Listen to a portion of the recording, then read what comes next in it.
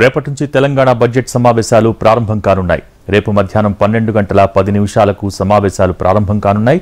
ఇక అదే రోజు గవర్నర్ ప్రసంగం తర్వాత బడ్జెట్ ప్రవేశపెట్టే యోచనలో ఉన్నట్టు తెలుస్తోంది. ఇందుకోసం ప్రభుత్వం అన్ని ఏర్పాట్లు చేస్తోంది. శాఖల వారీగా పూర్తి సమాచారాన్ని సిద్ధం చేస్తోంది. సమావేశాలు వారం రోజుల పాటు జరిగే అవకాశాలు ఉన్నాయని తెలుస్తోంది. రేపటి నుంచి తెలంగాణ బడ్జెట్ సమావేశాలు ప్రారంభం కానున్నాయి. రేపు మధ్యాహ్నం పన్నెండు గంటల పది నిమిషాలకు సమావేశాలు ప్రారంభం కానున్నాయి.